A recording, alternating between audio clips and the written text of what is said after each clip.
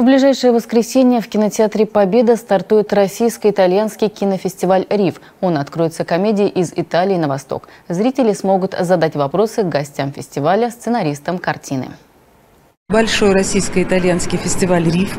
Это 14 картин, это гости из Италии. Несмотря на нынешнюю ситуацию, удалось их заполучить. Это лекции, обсуждения, комедии, короткий метр, документальное кино. В общем, целая неделя беспрерывного такого кинопутешествия по Италии.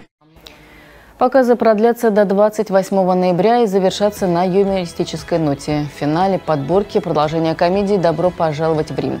Героиня на этот раз не ищет любовь, а пытается выбраться из тюрьмы. Также, кроме фестивалей, в афише спецпоказы классики и нашумевших премьер с обсуждениями.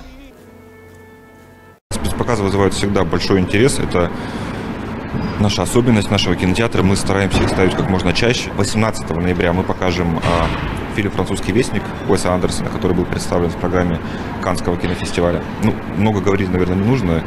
Режиссер очень известный, все его ждут.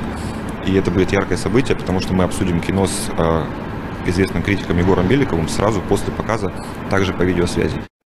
Спасибо, что смотрите канал «Новосибирские новости». Мы рады предложить вам интересное и полезное видео.